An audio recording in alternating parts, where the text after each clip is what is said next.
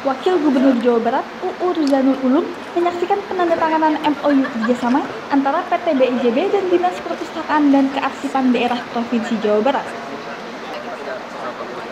Pojok baca, Pabukan Prasmaca merupakan perpustakaan umum di Bandar Udara Internasional Jawa Barat, Kertajati Majalengka, telah resmi dibuka oleh Wakil Gubernur sekaligus wilayah PT BIJB yang keempat tahun 2018.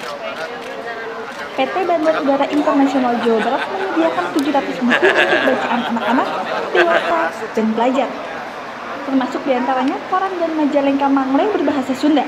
Pabukan Prasmaca berisikan buku-buku ilmu pengetahuan umum, hasanah budaya, juga terdapat perpustakaan digital dan smart airport. Hadir dalam acara tersebut antara lain Deputi Bidang Pengembangan Sumber Daya Manusia, PLT Bupati Majalengka, PJ Wali Kota Cirebon, Direktur Utama PT BIJB, para Kepala Dinas Perpustakaan dan Kearsipan se-Jawa Barat, dan para undangan lainnya.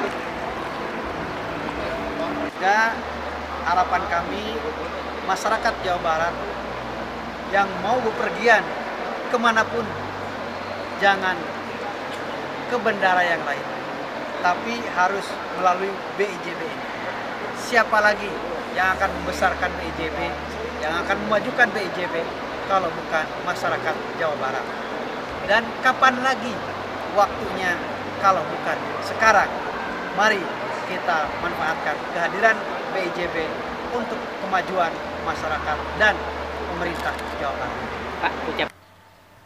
Dari Majalengka, Jawa Barat, Edward Supendi, Tribrata TV, salam Tribrata.